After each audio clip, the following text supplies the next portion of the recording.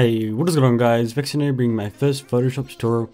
So today, as you probably know from the title, I'm going to be showing you how to make a clean 2D outro and you can make this whatever colors you want. It's just a grey and a nice color, your choice. Uh, nice and simple outro using YouTube's uh, new outro features. So it will be uh, utilizing them rather than just annotations. So the first thing you want to do is go File, New, and we'll just make a document 1920 by 1080 and then just make sure it's transparent background, you know, name it whatever you want, your choice, and then just hit OK. And we'll have a big uh, blank uh, rectangle here. So the first thing we're going to do is click over here, on your eyedropper tool and just get a nice grey color. I'm just using the background here and then just fill the background like that. You know, you can make it more of a tinge of a color towards it if you want it not like quite a solid grey but just pick the background if you want it nice and simple and then what you want to do is click on new layer and then drag like a selection.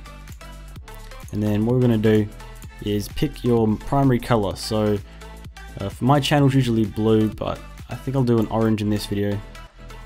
That looks like a nice color. And then make sure it's on the new layer. Just hit bucket tool. Control D to deselect that. Control J to duplicate it. And then control T. Drag it down. And then we can just merge them together and then we've got some nice color at the top here. Now what I like to do in my videos, or my outros rather, I like to have some gameplay in the background of whatever game the video is about or you know whatever the video is about, just have some footage in the background and I usually have it a bit blurred. But obviously if I just drag this picture in here, now you don't do this step, this is just an example to show you, but just raw gameplay is not very good, it's too colourful, too distracting, so what we're going to do is put that below the grey and then set the grey to about 90% opacity and that way you can still see the gameplay and obviously if this was in Premiere or Vegas this would be actual footage rather than just a picture layer down here. And you'd see movement but it wouldn't be too distracting and it has kind of it's a background thing that just adds a bit it makes it a bit more interesting without being too distracting. So just make this 90% uh, or 80% and leave it transparent. So when you're rendering it or when we're saving it just make sure you don't have a pitch like that. That's just a pure example. So uh, just pretend this layer is not here. You don't have to do this step now what we're going to do next is go over to my GFX pack, so I'll leave a link to that video and you can download it. This is uh, my 5k GFX pack, I made very recently. Now what we're looking for in this pack is the vectors for our social media icons. So for this I'm just going to use Facebook and Twitter. So just hold control to select two of them and we're going to drag over to our project here. And then these are actually invisible, so make them visible and then hit control D also control T rather. Then you want to hold Alt and Shift and then just drag them a bit smaller. Just tick. We'll control T again to move them away. And this is our two social media icons. You can use way more if you want, but these are two I'm going to use for the example. I'm going to double click on them and hit color overlay. And then you know, just make sure it's the same color you've picked up there. Set OK. And then just do the same thing for the other icons you've got here. So now this is uh, really nice looking bright icons. So next thing we need to do is obviously just having two pictures of two icons in the center of screen. That doesn't really mean much. So what we're going to do is put your Twitter or your Facebook, whatever it is. So I'll have at Vexinator YT. That's mine. Hold control, you can drag it and then tick and hold shift and just make it smaller.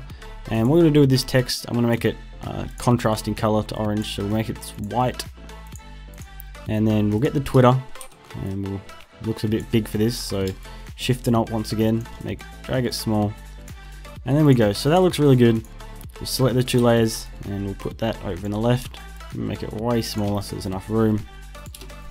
And now we need to do the same thing for Facebook. So make sure the Facebook logo same size as the Twitter. The main thing with these is making everything in unison, all similar and all fitting into one theme. That's the most important thing when you're designing something like this. It all has to fit together nicely. If it's just all over the place, it looks and it ends up looking really messy. So you want to really avoid that. And then what we can do, Control J to duplicate that layer, Control T, move it over. Uh, make that a slash because it is Facebook obviously and actually move it bit closer. And again, you want to try and get this distance here the same as this distance here. So try and keep everything uh, similar and everything the same. Now what I'm going to do, select all four layers, hit Control T, and when this pink bar pops up that just means it's centered so make sure it's centered put about there it looks good and then there you go you've got your social media at the bottom so people actually can you know follow you on Twitter or add you as a friend on Facebook and you know whatever social media you put there now we can do put them into a folder. So just do that and then we'll call it social. And then we can just sort this out so we actually you know know what's going on in the project. So the next thing you'll need is a sizing template. So if you've never used it before when you're making an outro on YouTube you have you can put in a video link or you can I think you put up to four video links. And then you can also put your thumbnail like your avatar sorry. And when people click on your avatar uh, it will be it will show up a box and then they can subscribe to you. But you need to get these things the right size to make sure they fit with your template properly. So what I've done is I, have made this template and you, I'll leave a link to download this in the description. And basically this is I think the minimum size your video can be you can make it you can drag it bigger and smaller when you're actually editing on the YouTube web page and this is the size that your icon will be or your avatar. So you can just leave them in this position just for this and I'm to put them there on the right hand side. Now obviously you can have up to four of these and I think you can do your own channel plus someone else's channel if you want so you can have probably uh, probably up to four of these as well. I've never tried doing more than two.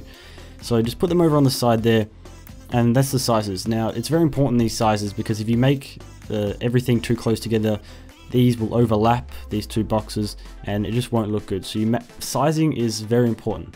So just download this picture and make sure you've got all those sizes correct.